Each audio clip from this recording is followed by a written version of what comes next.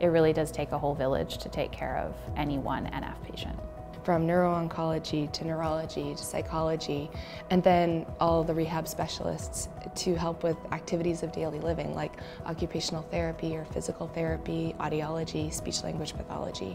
And then you've got your education team for you know, kids coming through the school district and their educational career.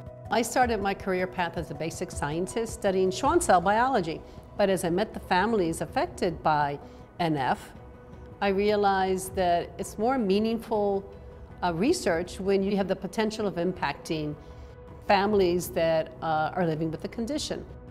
With the neurofibromatosis, there is very real immediate opportunity to help people living with those conditions.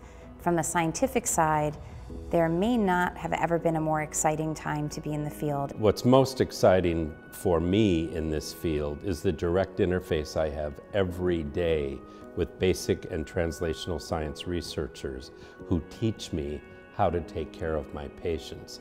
And likewise, I get to take what I've learned from my patients and bring it back to the laboratory and say, these are the important questions we have to answer.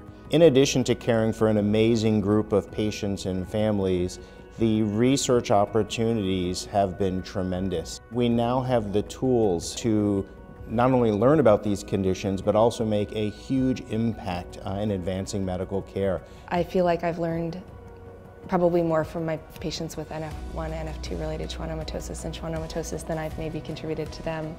And I hope that in the future I can learn more to provide even more resources and support.